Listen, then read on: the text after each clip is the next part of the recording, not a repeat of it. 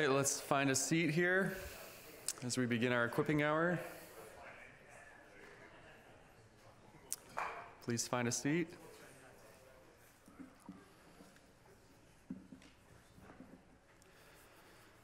All right, let me open us up in prayer as we begin. God, we just uh, thank you again for another day of life. Uh, we thank you for uh, your power to cause the sun to, to rise again this morning. Uh, we thank you for your grace, uh, your mercy that is just true and evident again today. So I pray that we would just continue to trust in your promises, Lord. I pray that we would be humble under your word. I pray that we would be encouraged by your word, Lord, and I pray that our lives would walk in accordance with what you say. Pray these things, Jesus, in your name. Amen. Well, my name is Kyle Frazey. If you don't know me, I am a seminary student here at the Expositor Seminary. And we've been talking last week and this week about uh, a method, a faithful method for gospel ministry, uh, the method that we see in Paul as he comes to Thessalonica. So we're going to look again today at 1 Thessalonians. And we're talking again about Paul's priority, his method in ministry, how he came, what he prioritized. Last week we looked at the message, we looked at gospel proclamation in 1 Thessalonians chapter 1. This week we're going to look at the messenger, the character of the gospel messenger. See, the message and the messenger are not disconnected.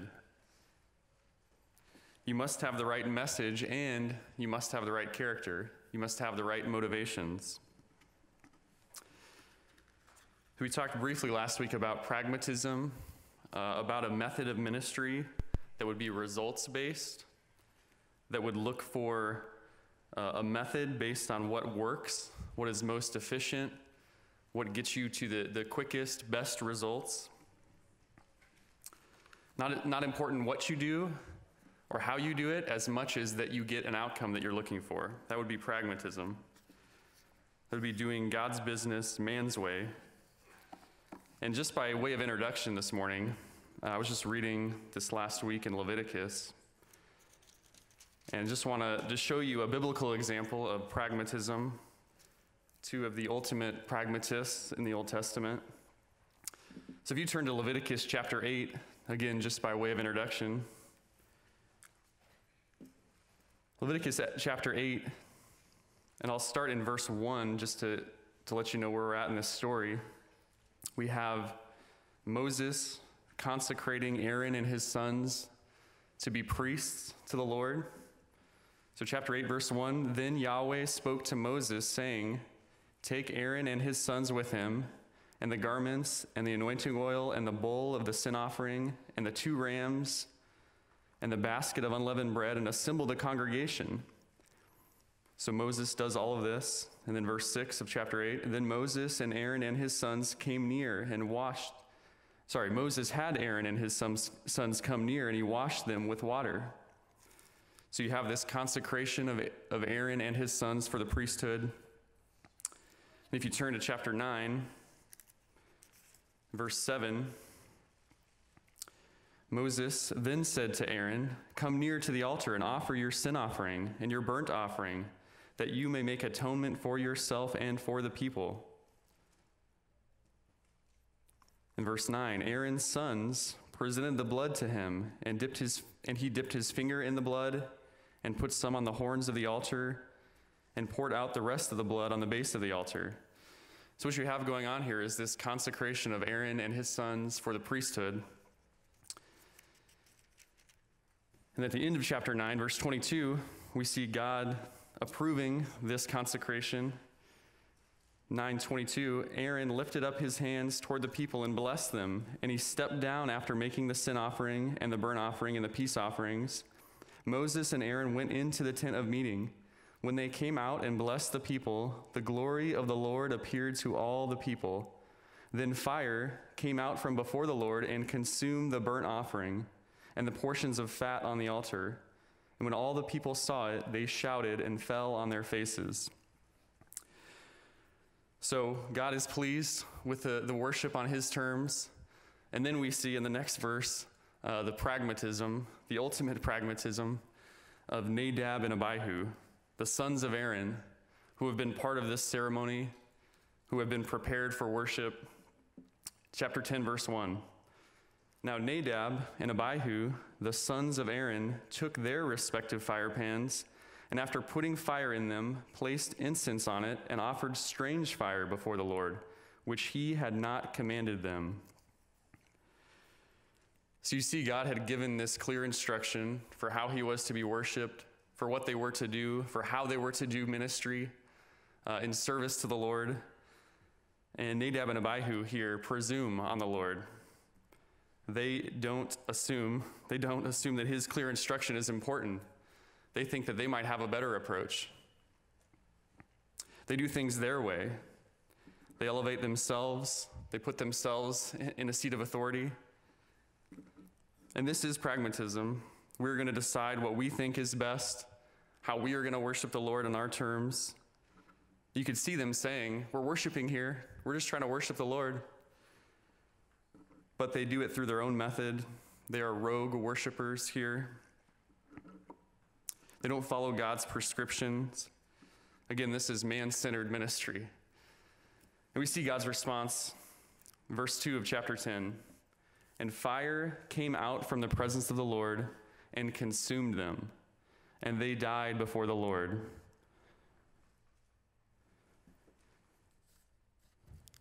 So, just again to highlight the importance of a, a faithful method of ministry, uh, God was not pleased with their rogue worship, deciding to do ministry on their terms, deciding to do what they thought would be the most effective way to serve the Lord. You see, God was the main event in their worship, and they wanted to be part of the event. They wanted to do things where they, they got some credit, they got some glory with the Lord. So we see why this is important, not just for worship, but for evangelism, for church ministry, why we must do God's business God's way. In our evangelism, are we holding God high as we preach the gospel? God graciously allows us to participate with Him in what he is doing in the world. And that's why, that's why it matters. That's why our method matters. How we do ministry matters. So we're going to see in 1 Thessalonians chapter 2, we're going to see a lot about how to do ministry, how to do evangelism, the character of the gospel witness. So if you would turn to 1 Thessalonians chapter 2, we'll be working through verses 1 through 8. We're going to be looking at what I'm calling three essential characteristics of a faithful gospel messenger. Three essential characteristics of a faithful gospel messenger. And we're going to see this again in 1 Thessalonians chapter 2. So read with me beginning in verse 1. For you yourselves know, brethren, that our coming to you was not in vain. But after we had already suffered and been mistreated in Philippi, as you know, we had boldness in our God to speak to you the gospel of God amidst much opposition. For our exhortation does not come from error or impurity or by way of deceit, but just as we have been approved by God to be entrusted with the gospel, so we speak, not as pleasing men, but God, who examines our hearts. For we never came with flattering speech, as you know, nor with pretext for greed, God is witness. Nor did we seek glory from men, either from you or from others, even though as apostles of Christ we might have asserted our authority, but we proved to be gentle among you, as a nursing mother tenderly cares for her own children, having so fond an affection for you that we were well pleased to impart to you not only the gospel of God, but also our own lives, because you had become very dear to us. So we see in this, in this passage, Paul is talking about how he came to Thessalonica, the way that he came, his method as he comes to Thessalonica to bring the gospel. We looked last week at Acts 17. If you remember Paul in Acts 17, he's on his second missionary journey. He's traveling through Macedonia and Achaia, and he comes from Philippi to Thessalonica. And in Philippi, we looked at Paul beaten, bloody, beat up, comes immediately from Philippi to Thessalonica, starts preaching the gospel. And in chapter 1, verse 5 and 4 and 5, Paul says that he is confident of the salvation of this church because of the way that the gospel came. He is confident that they embrace the gospel. And we looked at last time five non negotiables for faithful evangelism Paul's method, how he preached the gospel, what he preached. And now we're going to see Paul talk about his character. He says that, that you know that our coming to you was not in vain in verse 1. He's talking about his coming to them, how he was when he came to Thessalonica. And Paul gives this defense to them of his character, not because he's worried about what people think of them, of him, but he's worried about them hanging on to the truth. Right? If they undermine the gospel messenger, then they're, they're going to reject his message. And you can see for a, a, church where Paul has been, he's out of town very quickly. He's, he's there for a short period, he's run out of town. Now, this church, their lives are turned upside down. And to, to ask the question, well, where's Paul? Where's the guy that, that said all these hard truths to us? Now our lives are hard, and where did Paul go? So you could see him feeling the need to, to instruct them on his character. Here's how I came. Remember how I came. So that they would continue to embrace his message, so that they would continue to hold on to the truth that he gave them. So he's encouraging them to be faithful. He's not, he's not after trying to put himself on a pedestal. He's holding up his ministry so they continue to believe his words, so that they continue to hold to the scripture. So that's why he's defending his ministry here. And we might do this as a parent or at least I, I do this sometimes. You know, you're having maybe a hard day with the kids and you remind them, you know, mom and dad love you. We want what's best for you. You know that, right? And your kids, yes, we know that. Okay, so you need to do this. You need to listen, you know, just reminding them of what they know to be true about you, about your character, so that they would listen, so that they would continue to receive instruction. So that's what Paul is doing here. And he gives us his priorities for ministry, his method as he defends his character. So we're going to see three essential characteristics of a faithful gospel messenger. Three essential characteristics of a faithful gospel messenger. Number one, the messenger must be driven by faithfulness, not results. Driven by faithfulness, not results. Verses 1 and 2. And we see in this passage a series of statements that Paul makes where he says, I came not like this, but like this. And he does this three times in this passage. We came not like this, but like this. So through these three statements, we're going to see these three characteristics. And it's really instructive for us that Paul really gives us a, a orb picture of here's what I'm talking about. It's not like this, but it's like this. So we'll see three of these. The first one in verses 1 and 2, you can see where he says that our coming to you was not in vain, but after we suffered, we had boldness to speak. So it was not like this, but it was like this. In verse 3, we're going to see the same thing. He says, Our exhortation does not come from error, impurity, deceit, but like this is how it came. Verse 5, he says, We never came with flattery. We never came with pretext for greed. Verse 6, we never came seeking glory from men, but, verse 7, we proved to be gentle. So again, these opposite statements, these contrasts that Paul gives to show us his method of ministry. The first one, Paul says, Our coming to you was not vain, but after we had suffered and been mistreated, we had boldness to speak, speak our, to speak the gospel of our God in the midst of opposition. So, not this, I think we have it on the slide. It says, Not this, our coming to you was not in vain, but we had boldness to speak.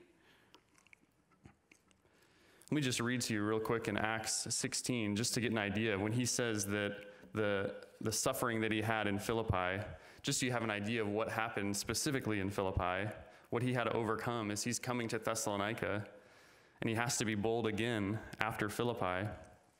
And I'll just read to you, you can just listen. In Acts 16,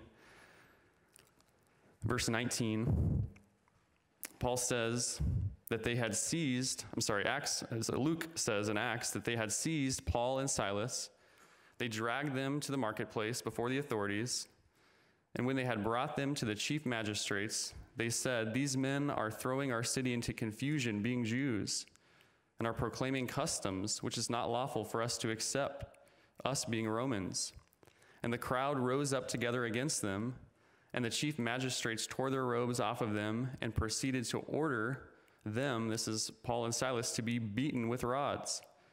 And when they had struck them with many blows, they threw them into prison, commanding the jailer to guard them securely.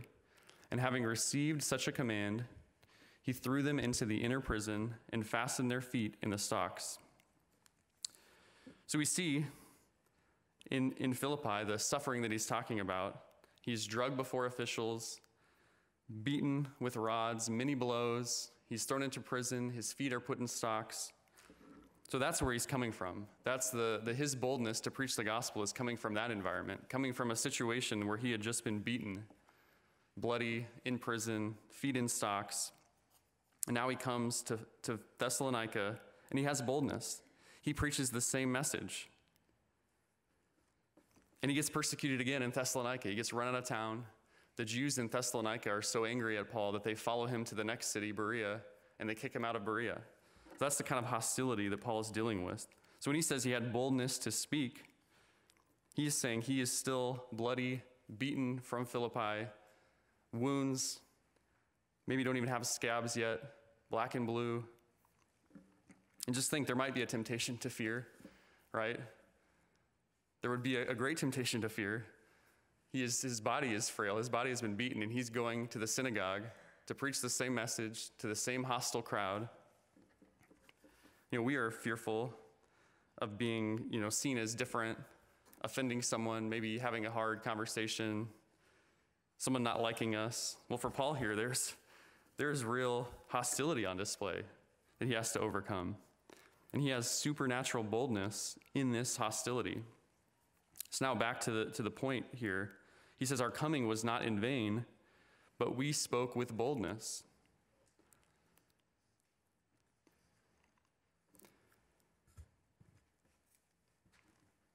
So the contrast is vain coming, bold proclamation. And just think for a minute about this contrast. When you hear, Our coming was not in vain, our coming was not futile, our coming was not worthless or pointless, at least in my mind, I would think the opposite of that would be it was fruitful. It wasn't fruitless, it wasn't worthless, it was fruitful. But that's not what he's saying. He's not saying it wasn't vain because there was fruit. He's not saying it wasn't vain because there was conversion, because people believed. That's not what he says. He, he contrasts a vain, a futile coming to them with being bold in his proclamation. So it would have been vain if Paul had not spoken boldly.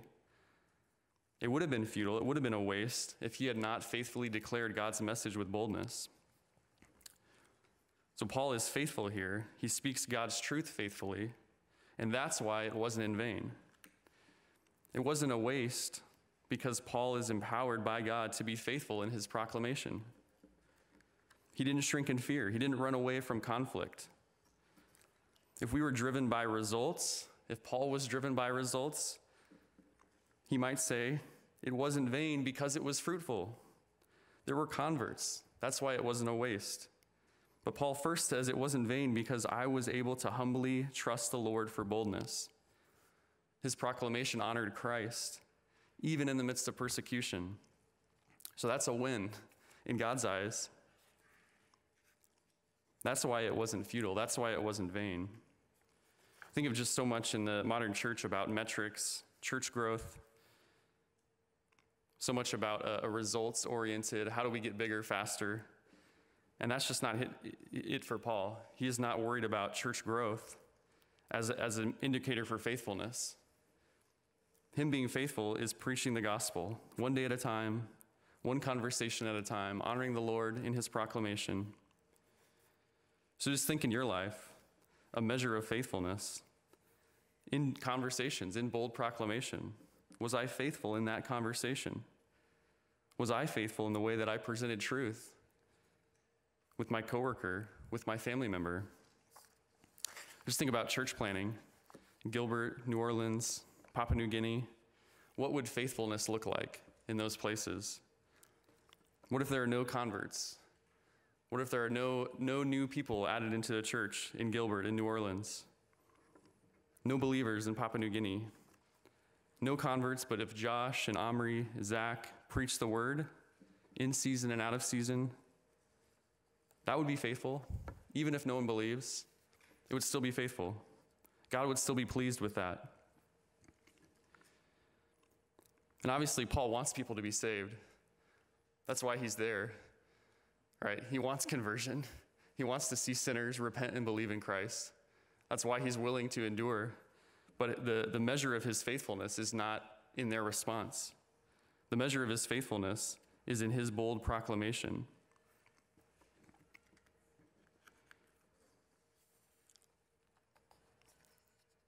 And he says with boldness, this is with conviction, with steadfast confidence that he believed this message to be true.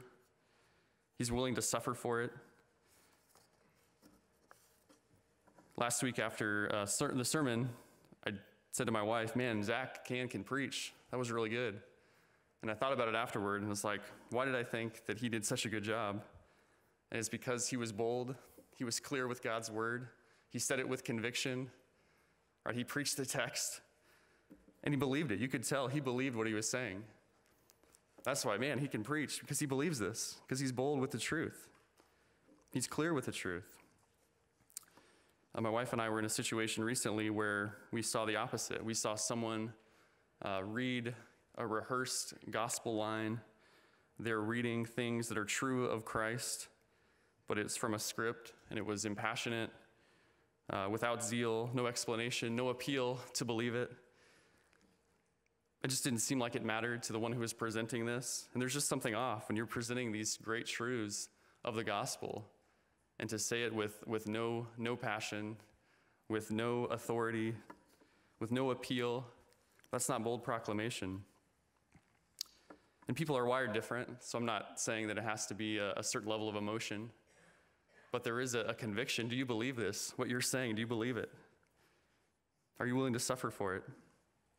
The only message by which people must be saved is the gospel. We must declare this message boldly. Then Paul says he has boldness in our God in verse 2. We had boldness in our God to speak. This is a certain kind of boldness. This is not a boldness that just says, I need to suck it up more, I need to try a little harder. But this is being willing to stand for the truth with confidence in God. Paul, Paul is a human here, needing supernatural help. I think we forget sometimes that Paul is a man like us. You read these great acts of Paul. He is a, a human, same flesh that we have, uh, same temptation toward fear, same temptation toward a love of comfort. Paul needs supernatural strength to preach this message boldly. He needs the Holy Spirit to empower him. He still has to fight sinful fear. Again, he is bloody and beaten from Philippi, persecuted. He's coming to Thessalonica knowing it's going to be the same thing. This is what happens in every city. And he has to fight uh, temptation to fear. And he needs God to empower him in this bold proclamation. He needs supernatural strength. And Paul here goes right to the synagogue. He goes right to the Jews who are going to persecute him. He preaches boldly. He doesn't show up at some side alley. He doesn't start whispering to folks about Jesus where it's convenient, where there's not going to be as much confrontation. Uh, he shows right back up at the synagogue. He starts preaching. You see, Paul didn't need a, a change of circumstances when he got to Thessalonica. He didn't need less hostility. He didn't need to change his message. He didn't need to try to be more compelling to that culture. How do I repackage this for a new culture, a new people? What he needed was supernatural boldness to preach the same message to a hostile people to have faith in God and His Word. And we see in Acts 17 that there are people who believe. There are results here. Paul's faithful proclamation did lead to, to people embracing the gospel because he was faithful, because he trusted the Lord in his bold proclamation. See, Paul sees rightly where the power comes from his absolute confidence in God's power in the gospel. That brings us to our second point. point Second essential characteristic of a faithful gospel messenger. First was he must be driven by faithfulness, not results. The second is the messenger is one who comes under authority. He's not a swindler. He's under authority. He's not one who's representing himself, he is representing another. Have you ever been scammed? You ever been told an elaborate story by a con artist, someone that uh, built you up and then was out to take your money? I remember the first time that I was, was scammed. Um, I was at a gas station. I was probably 19 years old. And th- this guy had a story of his car was broken down. He was on his way home from work. He works at the restaurant just down the street. You can call the restaurant and you can see, you know, they'll, they'll know my name over there. And he just needs 20 bucks to fill up his gas tank or to get repairs, to get home. And uh, it was an elaborate story, right? And he was, he was very believable. So I gave him $20. It was all, probably all the money I had in the world at the time. And then uh, two weeks later, I go to that same gas station, fill up my gas, and the next pump over, I hear this story about this guy whose car had broken down, who just needed $20 to get home from work, and uh, just realized, like, in that moment that I'd, I'd been scammed.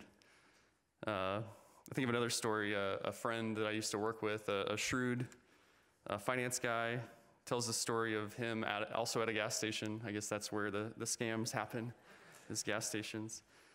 But this, this man had these, these jackets, and he was about to get on a plane, and he has these leather jackets, and he can't take them on the plane with him. He was here for a conference, you know, obviously elaborate story. So I'll, I'll sell these to you for, you know, five bucks each or 20 bucks each. They're $100 jackets. And my friend, who is very shrewd, falls for the story, buys all these jackets, one for each family member. He buys, you know, $100 worth of these jackets, comes home, finds out this is just fake, you know, made in China leather that's $5 each. So he spends $100 for $20 worth of uh, Halloween costumes, you know. And uh, that's a scam, right? They want something from you. They tell you a story. They're after their own ends. Impure motives, deceitful message. There's sleight of hand, right? This long story with no substance. Paul says, I didn't come deceiving you. I didn't come telling you something false. He didn't come scamming them. But he, he came to please God. Paul was a man under authority. He didn't come from his own agenda, he came for God's agenda. In verse 3, he says, Our exhortation does not come from error or impurity or by way of deceit. Look at verse 4. But just as we have been approved by God to be entrusted with the gospel, so we speak, not pleasing men, but God. So he's approved by God. Paul is not a, a self authenticated, self proclaimed messenger. He is God's messenger. He's approved by God. God approves his ministry. He has been found faithful to be entrusted with this message. Paul is not just a passionate guy who says, Man, I love people and I love the gospel, I'm to go preach. Right? He's actually an agent of the Messiah. He's actually been approved for this message, for this work. He's been entrusted, he says, with the gospel because he has been approved. God's message, this is not Paul's message. He is just a steward here of God's truth. And again, Paul is not under his own authority. He's not after his own purposes. He's not self appointed. This is God's work, this is God's message. This says a lot about, we think about ministry, pastoral ministry, missions, even. Some people think, man, I have a, I have a desire for missions. I should, be a, I, I should be a missionary because I have a desire. And it's like, that's great. You need to have a desire. But you also need to be approved. You need to be tested. You need to be found faithful. It's been encouraging to uh, take some seminary classes with Daniel Bruce. I don't know if you if you all have met Daniel and Sarah Bruce, but they have a, a desire, a passion to to bring the gospel to unreached people groups. Um, they're training, part of Finister Vision right now, I believe, and training at the seminary to be sent out. And it's been encouraging just to see a, a young couple that is on fire for the Lord, that wants to see the gospel go, that has a passion, and at the same time is saying, and we want to be trained, we want to be equipped. We want to be sent out by a church. We want to be found faithful and sent. That's what, that's what Paul is modeling here for us a faithfulness. The missionary here who is faithful, who's been approved, who's been tested, is not a self declared ministry. This is what it looks like to do missions as one under authority. So I'm going to do missions the way that God defines it. I'm going to go as one under authority. And part of that authority is being sent by a local church, being proven in character. So much in our culture is just are you passionate? Are you a good speaker? Okay, great. You should be a pastor. You should be a missionary. No, are they faithful? Are they faithful? And do they have the giftedness to do that, do that work? And I'm not saying that you need a resume to share the gospel. All of us should be evangelists. We must be evangelists, but we must preach the gospel as one under authority. Our desire to please the Lord, with God as our ultimate audience. Paul says, We did not speak as pleasing men, but God. God, His glory, was the goal. So Paul's result is pleasing the Lord. That's the result he's after. How do I please the Lord? Is God's pleasure worth it to you? If you are rejected by men, if you are rejected in this life, are you willing to lose friends, have family members upset at you, maybe sacrifice career opportunities, maybe live a harder life? But you can please the Lord regardless of the cost? Is that worth it to you? We see here the opposite of one who would come under authority, who would desire to be pleasing to the Lord. Back up to verse 3 the, the one who would come with an exhortation from error or impurity or by way of deceit. Error would be a, a false religion, something false, something not divine, just what's popular, just another human message. That would be to come in error. That's every false religion, right? Every false religion doesn't condemn man. It says that man is pretty good. He needs to try a little harder. Just work a little harder, then you can get to heaven. And this book, the Bible, is the only book that condemns man. It's the only book that says that man is actually the problem, that man actually doesn't have the answer in himself. That's the message Paul preaches. He preaches one under authority, saying this word says that you actually stand condemned before God. You actually need a solution outside of yourself. Paul says he also doesn't come with impure motives. This would be not pleasing the Lord, obviously, but pleasing self, seeking a personal platform, seeking personal gain, wanting personal significance, just wanting to be in front of people, wanting an audience. it's helpful to see what's going on at the heart level here. If you were to come as one who is not under authority, it would be because you're coming from an impure motive. When someone proclaims a message on their own authority, when someone preaches a man centered message, there is an issue with their motives. That comes from an impure motive. Something is going on in the heart that would lead you to shrink away from declaring God's message on God's terms. It is possible to do ministry, to do ministry as we would define it, maybe not as God defines it, with impure motives. You see people in the church today, you see pastors fall. Pastors fall into sexual immorality because they have impure motives. And it could be much more subtle than that. It could be just a love for people listening to your voice, just a desire to be liked. It feels good to have friends, to be liked, to have people listen to you. But that's not one who is saying, I want to please the Lord. Paul is saying, I just want to get out of the way. If I can hold up God's truth and be invisible, I can be content with that. But the one who comes with impure motives says, I want to be on display. I want to get the credit. Think about Nadab and Abihu. They want to be part of the show. They're not putting God high on display. Lastly, in verse 3, he says, We did not come by way of deceit. This is the, the trickster, the huckster, the charlatan, the one who's trying to get you to believe his story so he can con you. Paul is not doing a, a bait and switch here, he's not manipulating, not a promise for this, and then giving them something else. He's not, not showing up with a pony ride in a bounce house and a tailgate and saying, We're going to sprinkle some Jesus into this message, but not so much that they are offended. No, Paul is clear and he is bold.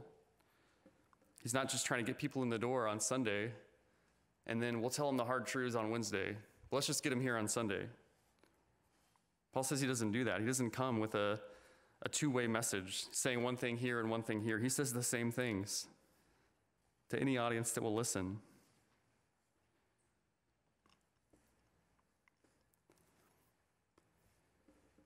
Paul is one under authority. Just think about so much, we talk about pragmatism. I think the fruit of so much pragmatism is not being under authority. Again, Nadab and Abihu do not see themselves as, as those under authority. They're not trembling at God's words. And Paul here points to, to God's authority, not his own. Think about Paul here, who did miracles, who saw the resurrected Christ, who was sent as an apostle, says that he actually has a vision of heaven, and yet he, he does not point to his own authority. He's pointing to God's authority over and over again. He points to the authority of the Lord. He's telling them these things because he is under authority, not because he is the authority. He points to God. He's delegated, he has a delegated authority.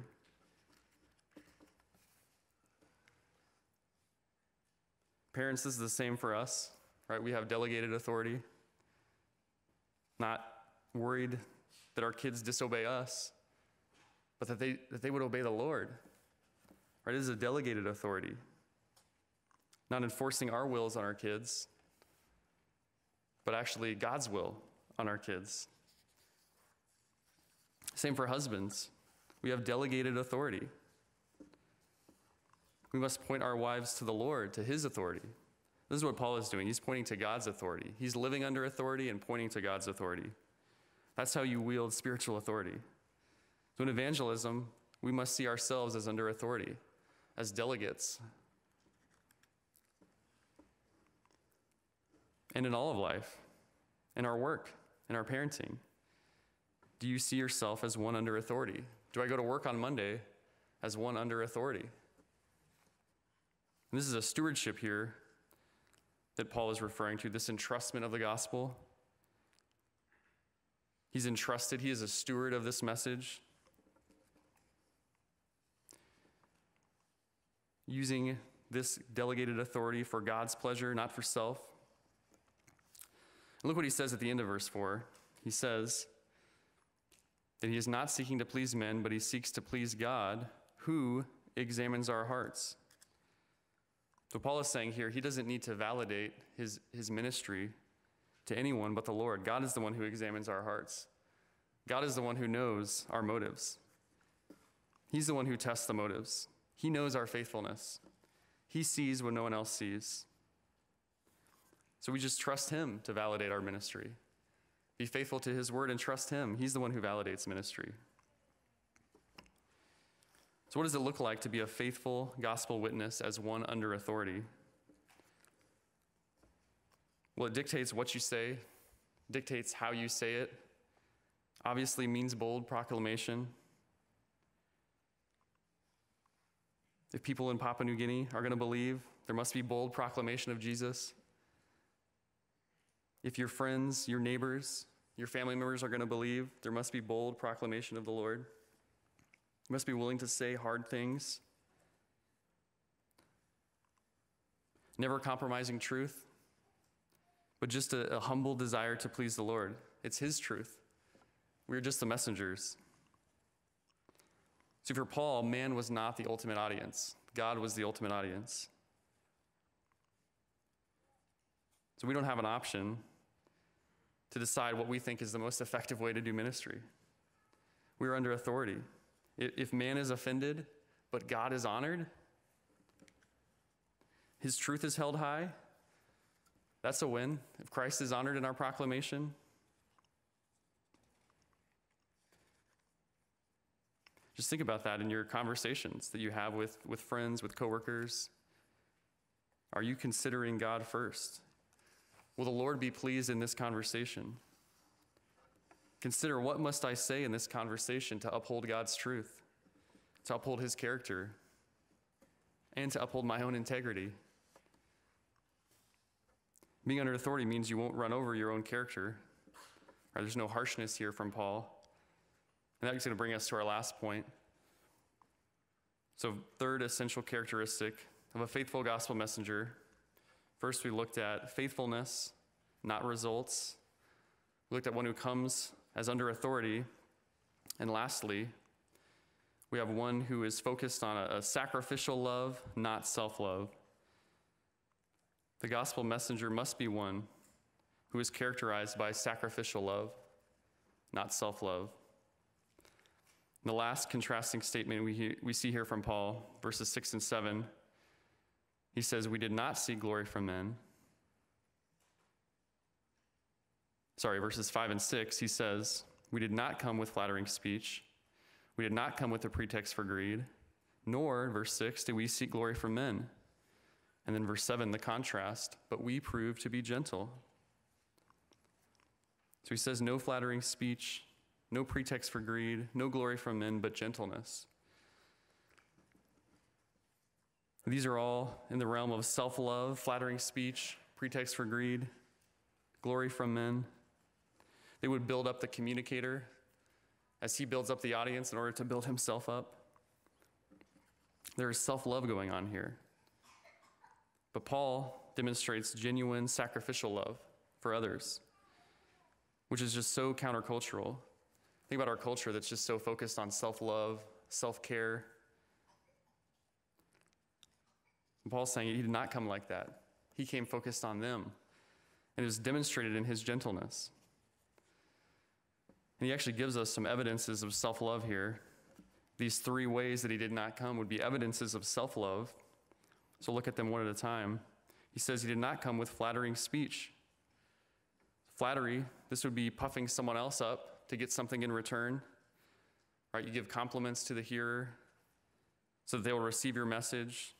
Maybe they'll give you back some, some respect, admiration. Right? I'm going to I'm going to build you up, but really I'm just because I want to be liked, because I want to be approved. I want a following, so I'm going to say things to the audience that they'll like, that they want to hear. So that the speaker can have more followers, more listeners. Think about a salesman you ever bought a car, and there's some godly car salesmen in our in our church. So it's not all salesmen, but uh, just the, the salesman is going to build you up. They're going to compliment you. They're not they're not telling you hard things. They're telling you what you want to hear. Hey, you're doing a great job. You're making a great purchase. Right, this is this is what salespeople do. I uh, our water heater broke a couple months ago, so I called a guy to come fix it, and he uh, turned on to, to sales mode. So he wanted me to replace the water heater. And he, he kept saying, you're a, you're, man, you're a family man. I can tell you're a family man. I can tell you care about your kids. And he said, you know, over and over, I'm not trying to sell you anything, but, you know, it's like, I just want hot water to wash my dishes, you know. But, but that's the salesman, right? They don't tell you hard things. They build you up. They encourage you. You're making a great choice. Paul is saying he brought hard truth to them. He wasn't there trying to flatter them. Paul wasn't a con man. He, he didn't just give them the warm fuzzies. There were hard conversations, there were admon, admonitions. Paul did not come to be liked, to flatter others so that he could gain approval for himself. Talked about this last week, but there's in our gospel proclamation, there, there are hard truths for the hearer hard truths that, that man on his own is actually an enemy of God, is a rebel, has no hope on his own apart from God. A gospel without preaching hard truths of the Bible about man's condition is not honest. It's just flattery. Telling someone that God cares about them, God loves you, He has a wonderful plan for your life, God's word does not say that to them. Paul did not come that way. He did not come flattering. And you see how strong this temptation is to be liked by men, to come in a way that people would respond well to. This give and take with the listener. You know, I'll, I'll puff you up if you puff me up. But that's a focus on self. And ultimately, that's not love for the listener, right? That's love for the speaker who just wants a, a following, who wants to feel good. The second evidence of self love he gives, he says, We did not come with pretext for greed. The pretext for greed, this would be a pretext, would be a front, a smokescreen for greed. He actually says, We didn't come pretending to be godly, but with ulterior motives, actually greed. We want to get something from you. Could be financial gain, could just be a platform. Obviously, you think about the, the pastor with the private jet, the extravagant lifestyle. You know, there's this blatant hypocrisy there. But there's more subtle ways that that would manifest. Someone that just wants influence, wants people to look up to them, wants to be the answer man, wants to be needed. You know, there's a, there's a self focus here. There's a smokescreen for godliness, he's saying, with a pretext, actually a desire for something else, something self serving. Think about someone, you could come to church with just a desire for friends. Church is a great place to, to make friends, to build community, people that are like minded, same walk of life, same, same hobbies as you. Maybe they vote the same as you. It's a good way to make friends. But you could see how someone could have a smokescreen for godliness with impure motives to say, I just want something for myself. I want something that feels good. I want community. But as a subservient to, to pleasing the Lord, do I want to please the Lord first? So you see Paul saying, I didn't come that way. I didn't come wanting anything from you. There's no materiality here that Paul wants. No money, nothing from them. The one who would have this pretext for greed, you see this materialism here is the goal, being consumed by the world, wanting stuff, comfort, an easy life, self pleasure. And just think about how impossible it is to live sacrificially for others, to love others well, if you are after your own comfort and your own pleasure. We can't live sacrificially for others if we're after our, our own comfort, our own pleasure, what feels good for us. There's no sacrifice there. The last evidence Paul gives of this self love that he is not demonstrating would be an evidence of self love, would be seeking glory from men. It's pretty straightforward. Paul's saying, I didn't come after the approval of men. He was not after fame, influence, being liked by the world. He didn't need men to validate him. Again, are you content to be nothing in this world? to have no glory in this life, just to have the Lord's approval, just to have glory from the Lord, to see Him honored. This desire for pleasure from men, glory from men is so strong. Just think about just selfish ambition in our hearts to, to want approval from others, to want significance, to want people to like us. And that would make you an unfaithful witness to want the approval of men. We're not going to say hard things, hard truths if we're after men's approval. But Paul is going to give the contrast here. Gives the contrast of not seeking glory from men, not coming with false motives for greed. And it's not, it's not what we would expect again. He's saying, first, think about just the, the things, the other two points of these characteristics of Paul's bold proclamation. He's driven by, by faithfulness, not results. So he's coming to them boldly. He's coming to them with the authority of God, the authority of King Jesus. So you're thinking like this crescendo building, like he's coming with authority, he's coming with boldness, like Paul's going to bring the hammer down on them. I think about Jeremiah 23, 29. Is not my word like fire, declares the Lord, and like the hammer that breaks the rock to pieces? So at this point, you might be thinking, okay, Paul is going to say these hard truths, you know, with a two by four for Jesus. And he says, I was not like this, but I was gentle. He was gentle like a nursing mother. And just think about the contrast there.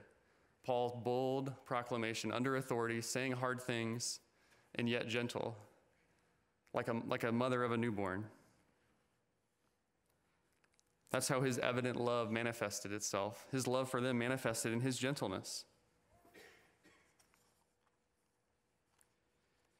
You hear about different uh, pastors.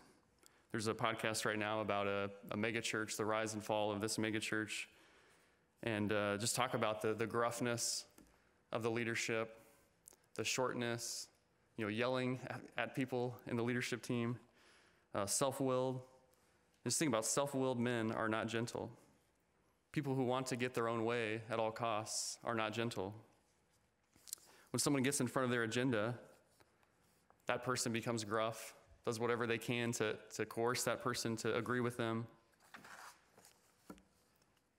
But, but gentleness would be a, an evidence of, of sacrificial love, someone who wants what's best for somebody else. With God as the authority, they're going to be gentle. I just think about the elders of this church, the pastors of this church. I just think about the 11 men on our elder board. I think about across the board, if I had to pick a, a characteristic of those men, I think gentleness would be right at the top of the list. Every man, gentle. The way that they parent, the way they are with their spouses, they're gentle. I mean, that's one of the elder qualifications is gentleness. Paul is not on a megaphone yelling at people, telling them that they're sinners. He is gently rebuking, correcting, loving them, telling them hard truths, as gracious, as gentle as he is able. And he demonstrates that he's in it for their good by his gentleness. He says, like a, like a mother to a newborn. If you just hand a, a two month old baby, a three month old baby to any woman in this room, you could see the, you know, the ooh ah, the, the gentleness, the change in disposition when someone's handed a baby. And that's what Paul is using as an example for his ministry. And it's just so helpful. Just think about how important this is when you're thinking about hard conversations, bringing hard truth to bear, these, these truths of the gospel that implicate people that are hard to receive. Just think about how necessary it is to be gentle, to be gracious, to have a soft disposition regardless of response.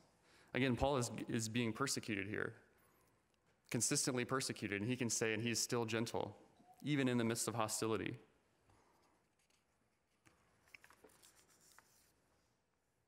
Think about in your parenting. Think about how gentleness is a, is a good indication of, of what we're going after in parenting. When we're after our own agenda, when kids get in the way of our agenda, when our spouse gets in the way of our agenda, just think about how quick we are to not be gentle, to be gruff, to try to force someone to do what we want when we're in it for ourselves. Paul here is saying he is gentle demonstrates his sacrificial love, his care for them.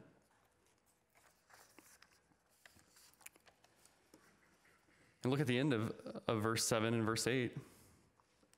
He says he tenderly cares for them like a, a nursing mother cares for her children. Verse 8, having so fond an affection for you, we were well pleased to impart to you not only the gospel of God, but also our own lives, because you had become very dear to us. Paul is saying he he actually gives them his own life. He tenderly cares for them, whatever they need. There's no self focus here from Paul. He actually says that he has authority as an apostle. He could actually make a claim against them to, to support him. When he says we did not come, that we had authority here, he's actually saying in verse 6, he says, Though as apostles we might have asserted our authority, he's saying they're, they're apostles sent by Jesus to, to ask these people to support them financially, to give them food and lodging. They had authority to do that. They're apostles of, of Jesus. Right? If anyone is worthy of his wages, it's Paul, right? If any missionary should have been supported, it was Paul. But he's saying he didn't ask them for anything no support, no financial resources, and that proved his, his motivation of sacrificial love to them, that he's willing to do whatever it took. That this life on life ministry, right? Getting his hands dirty, serving them regardless of the cost, going outside of himself, being inconvenienced, late nights, long hours for their sake. we just see this model of, of evangelism, of discipleship from Paul, this sacrificial love, willing to do whatever it costs for their sake, imparting his own life to them. Think of just the inconvenience, discomfort. And again, just the, the newborn baby analogy is so helpful that Paul uses a, a mother with a newborn, that there's no thanks. Newborn babies don't say thank you. They don't recognize the hard work. You change diapers, you stay up late, you work hard, no appreciation. That's what Paul is like. He's not in it for them in the sense that he wants their approval, he's in it for them in the sense that he wants them to believe. He cares about their souls, he cares about spiritual fruit. So he's willing to do whatever it takes to serve them. And that's what Paul models here. He models sacrificial love, no thought of self. But how does he pour himself out in love for them? So that's our third characteristic, last characteristic this sacrificial love, not a self love. So you hear a lot, or at least maybe I've heard a lot, you know, speaking the truth in love. You hear this like, speak the truth in love. And I think you have a lot of different, people mean a lot of different things by that. But here you have this great example from Paul of, of truth and love, never compromising truth, never backing away from a hard conversation, and sacrificially loving, being patient, being gentle, doing whatever it takes. So he's not watering down the message. He's not being man centered. He's being bold and authoritative, preaching God's message, and he is a humble messenger. Just pleading with others to believe this message, the only message by which sinners can be saved. So we must say what God says, only what he says, and we must say it on God's terms. We must do that as patiently, as humbly, as gently as possible, with God as our witness. Would you pray with me as we close? God, we just thank you again for your word. I just pray for the men and women, children in here, that you would just uh, work in our hearts to make us bold evangelists, that we would be so consumed by thoughts of you, by your glory, that we would be quick to speak your truth, Lord, because we love you and because we love others. We want to see you magnified in Tempe and Gilbert and New Orleans and Papua New Guinea, Lord, around the world. I pray that we would be faithful evangelists. Pray these things, Jesus, in your name. Amen. All right, you are dismissed until 10:15. Thank you.